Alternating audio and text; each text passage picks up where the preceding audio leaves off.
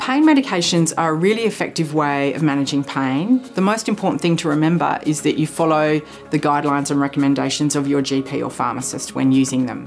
There are a number of risks associated with misuse of pain medications, and we have seen an increase in overdose rates from misuse of pain medications in Australia in the last few years, especially if they're using pain medications and combining those with alcohol, for example, because a pain medication is a depressant drug and so is alcohol. And what that means is it's slowing down the functions of the body and the central nervous system, so the increased risk of overdose is there. And for some people, developing dependence on some of these medications. These are the big side effects we want people to be aware of and be really careful about.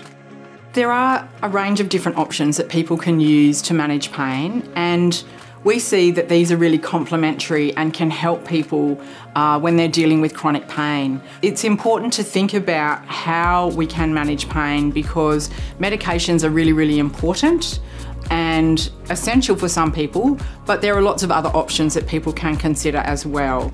Some of these options include physiotherapy, which is where someone is actually supporting a person to physically manage their pain.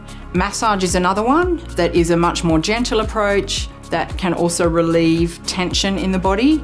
And yoga is also another approach that also combines breathing and um, balance exercises as well all of these factors, it's important to think about our whole approach of how we would manage chronic pain. There are a number of signs of overdose that people need to be aware of. So, if someone is a carer, for example, um, it's really good to think about these symptoms, or for a person who is using pain medications. So, it can be where the body functions are slowing down essentially. So, that means the person might feel a bit more sleepy, uh, they might feel a bit more drowsy. Their heart rate will be slowed down, pulse rate will be slowed down, they might be snoring. So these are all indications that someone might be having an overdose.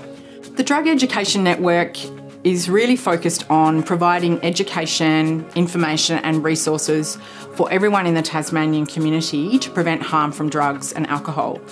We also have information about overdose risk, and we've developed a wallet card that has that information and it spells out what the symptoms of overdose look like and what people need to be aware of and what they can do to respond if they notice that someone might be overdosing.